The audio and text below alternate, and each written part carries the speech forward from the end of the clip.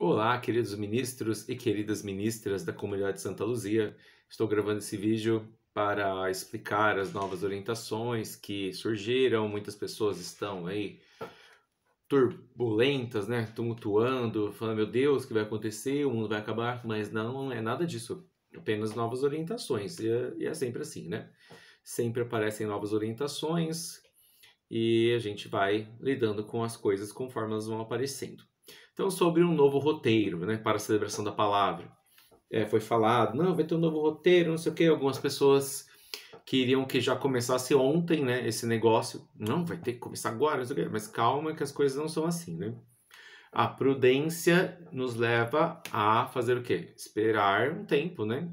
Tem que ter uma adaptação. No caso, ainda não tem nem clareza sobre como seria esse novo roteiro, porque, embora digam que há um padrão na diocese, não há padrão nenhum.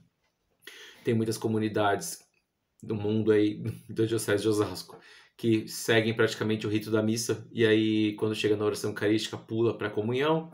Outras seguem roteiros, inclusive o documento da CNBB tem quatro roteiros disponíveis e deixa aberto também para a criação de novos dependendo da realidade do local. Então não adianta falar que tem um roteiro, todo mundo segue, que não é igual a veste acólito, veste ministro, ah, tem um padrão. Não tem, basta você andar pelas paróquias da diocese, daqui de Osasco até lá em São Roque, que você vai ver que não tem padrão nenhum.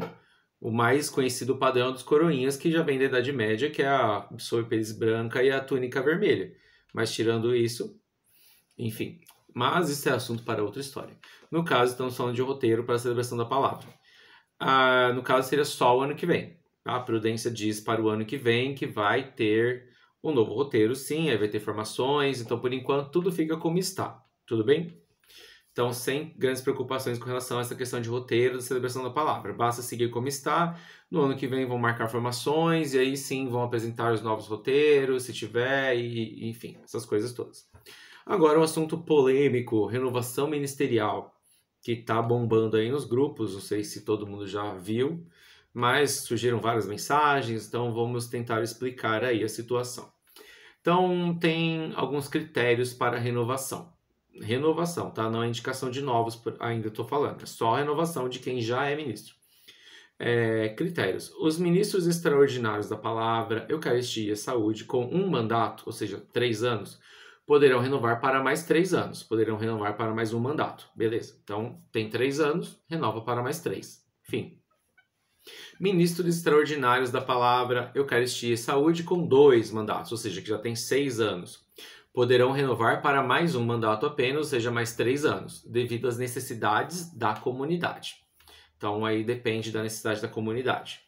É, mas poderão renovar. Então, quem tem seis anos, neste momento especificamente, poderão renovar para mais três, tá? Quem tem seis poderá renovar para mais três. Ministros extraordinários da palavra, Eucaristia ou saúde, com três mandatos ou mais, né? Tem gente tem muito mais. Então, no caso que já tem nove anos de ministro ou mais, não poderão renovar, tá? Então, como diz o Arnaldo César Coelho, a regra é clara, né? O padre Alexandre colocou essa regra que já vem da diocese tecnicamente. E então, ministros da palavra, Eucaristia, saúde, ministros extraordinários, no caso, que já tem três ou mais mandatos, não renovam, tá? Então, se você já tem mais de nove anos, de nove anos ou mais no caso, né, não poderá renovar, tá?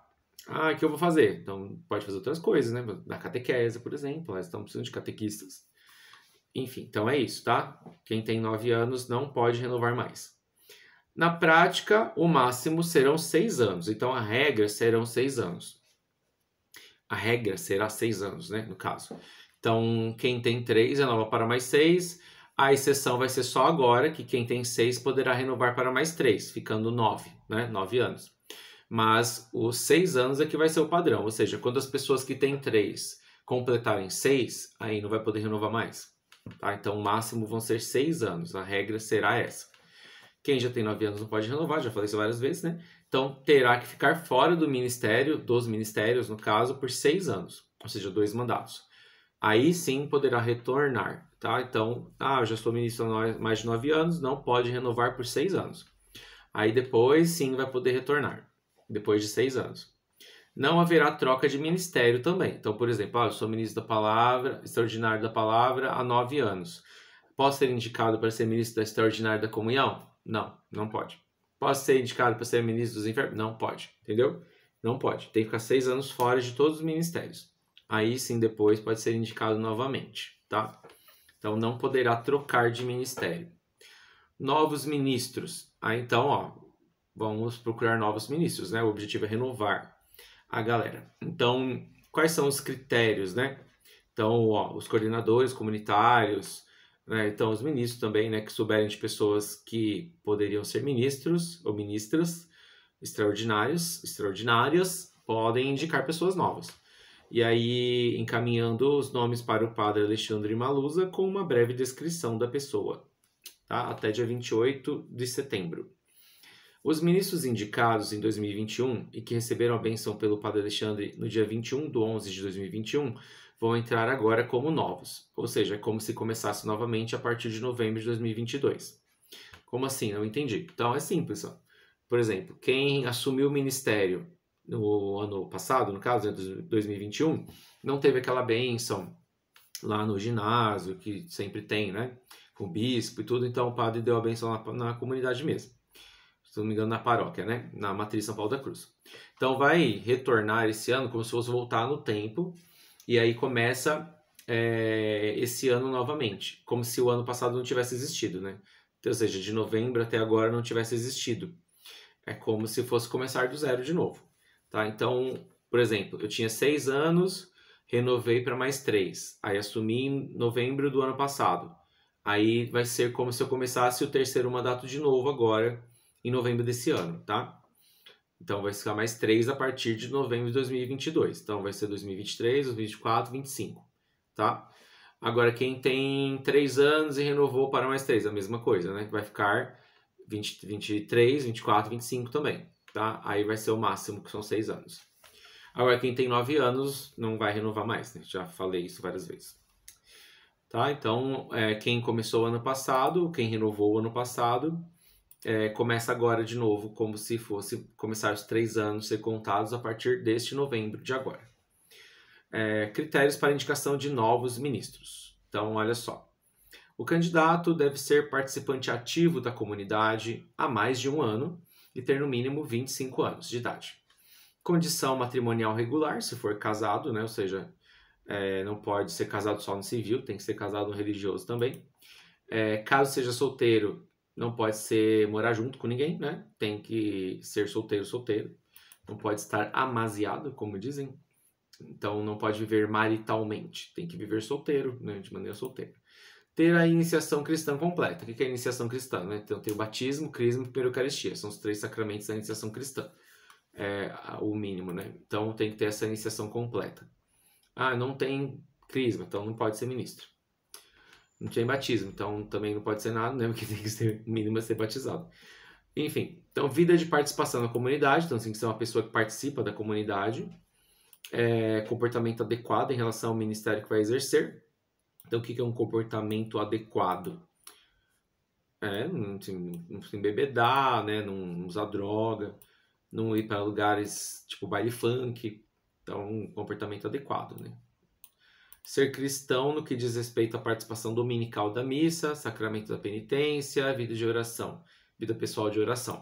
Então, participação da missa, né? Tem que ir na missa, seja no sábado à noite ou no dia de domingo. Agora, por exemplo, eu estou escalado para celebrar a celebração da palavra às 9 horas da manhã, no domingo. Aí eu não preciso ir na missa? Não precisa, entendeu? Vai ter que ir na missa. Seja no domingo à noite ou no sábado à noite anterior, né? Tem que ir na missa. Aí, sacramento da penitência, então tem que se confessar ao menos uma vez ao ano, né? Como diz aí a Santa Igreja no Catecismo.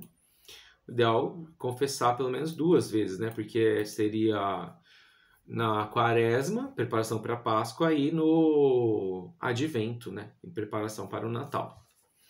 Capaz de testemunhar a vida coerente com o Evangelho, ou seja, não adianta ser ministro e sair batendo em todo mundo na rua. Capacidade para exercer o ministério ele confiado é, aqui é um ponto interessante, porque geralmente você convida as pessoas, a pessoa fala, ah, não me sinto capacitado, né? não me sinto preparado. Aqui a questão de capacidade é mais assim, de ter coragem mesmo, né? Ter coragem de assumir. Porque preparado ninguém tá nunca, né? E nem capacitado. Quem capacita é Deus. Quem prepara é Deus, não é? A gente estuda, se prepara, tal, mas é Deus que capacita. Então, se a gente for falar agora sim, estou preparado, nunca estaremos.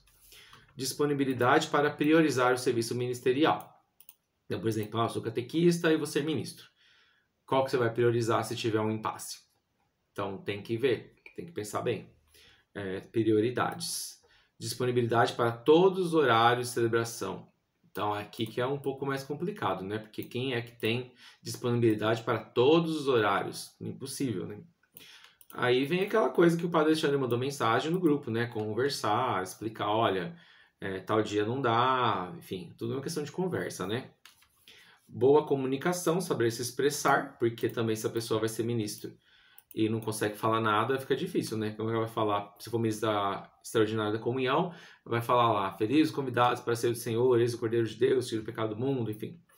É, rezemos com amor e confiança oração que o Senhor nos ensinou, graças e louvores tem a todo momento. Aí se a pessoa tem vergonha, não, não consegue falar direito, fica difícil. Se for ministro da palavra, então, né, extraordinário da palavra, como vai fazer a reflexão? Né? Então tem que saber se expressar bem, ter uma boa comunicação. Espírito de unidade. Espírito de unidade, ok, perceber que faz parte de um todo da comunidade, né? Ninguém é alecrim dourado.